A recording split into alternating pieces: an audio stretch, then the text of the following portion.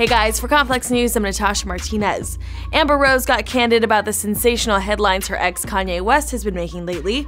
During an episode of The Fallen State, Amber talked about how she sees a lot of Kanye and Donald Trump. She told the host, When I first seen Trump on the podium and just kind of like running for president, I was like, oh my god, that is Kanye in a white man's body. I really felt like they have the same personality, like completely the same personality. Then she elaborated on Trump's presidency, and it turns out her outlook is a little more positive than some would have thought. She imagined what Kanye and Trump's first meeting was like, and she also says that Kanye could love Trump in office for the love of art. Kanye is the type of person that he loves art, and he loves the art in things, so I think he appreciates the politics that Trump used in order to get in office, because Trump was a Democrat for like 30 years, I heard, or something like that. Amber was also asked about her other ex, 21 Savage. The two dated for eight months before splitting in March. She talked about how she admired him for participating in her annual slut walk.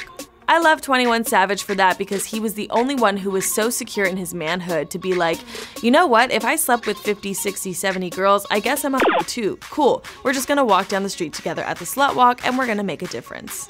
Amber gets pretty in depth with a lot of different subjects. You can check out the full interview via The Fallen State. That's your news for now. For more on this and the rest of today's story, subscribe to Complex on YouTube. For Complex News, I'm Natasha Martinez.